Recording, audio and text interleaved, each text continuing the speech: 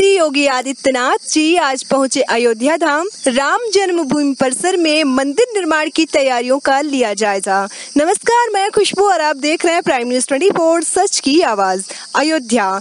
मुख्यमंत्री योगी आदित्यनाथ जी का काफिला अयोध्या से हुआ रवाना। आज राम जन्मभूमि परिसर में मंदिर निर्माण की तैयारियों का लेंगे जायजा।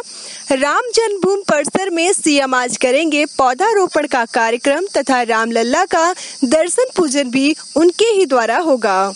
राम जन्मभूमि परिसर में प्रवेश से पहले श्री राम जन्मभूमि तीर्थ क्षेत्र ट्रस्ट के अध्यक्ष महंत नित्य गोपाल दास से सीएम ने की मुलाकात। हनुमानगढ़ी पहुंचकर किया दर्शन, पूजन किया हनुमानगढ़ी मंदिर के महंत राजू दास से की मुलाकात।